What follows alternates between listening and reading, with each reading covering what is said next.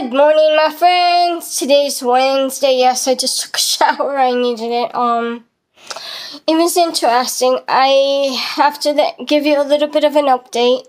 Last week, I was talking to one of my bosses. Color, um, she's a real nice lady. And I told her, no, I don't want to proceed with becoming a head cashier. She's like, why not? I go, because I found my happy place in being a head cashier. It gonna make me happy. It gonna make me miserable. We have too many people that are in that spot and they don't like it. And I just found my happy spot a couple months ago. I don't want to lose it.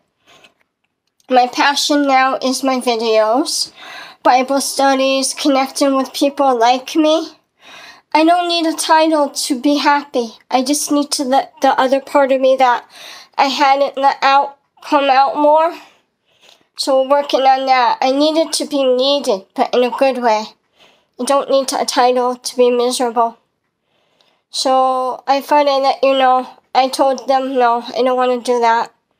I will still do a good job, but my priorities right now are focusing on God, me, me, and helping my people. But me first. Me always will be first.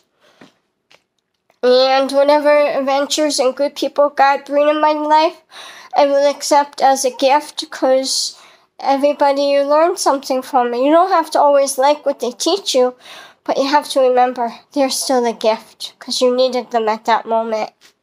And I love you, my friends. Auntie Sue.